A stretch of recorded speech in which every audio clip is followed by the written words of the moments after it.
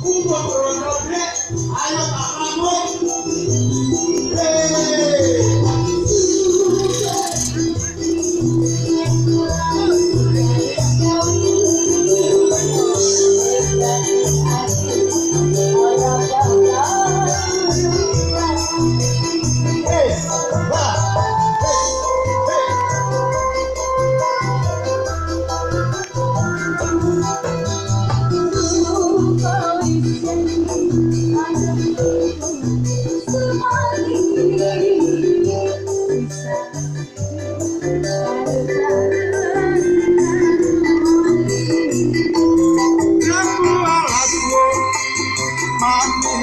rasane